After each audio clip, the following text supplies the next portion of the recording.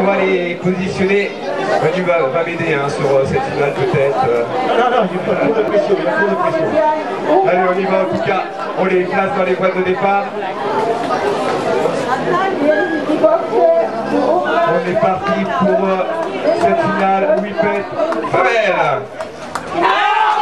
bien avec euh, le numéro 4, suivi du numéro 6, et le numéro 4 qui prend la tête de cette course, suivi du numéro 6. C'est toujours le 4 en tête de cette course, suivi du numéro 2 maintenant, et du numéro 3. On a obtenu le dernier virage, le numéro 4 qui va rentrer en tête, suivi du numéro 2, du numéro 3, et le numéro 6 qui revient.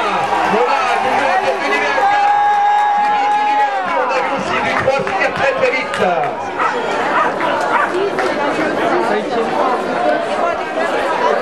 Quelle course une nouvelle fois, on a pu voir quatre lévriers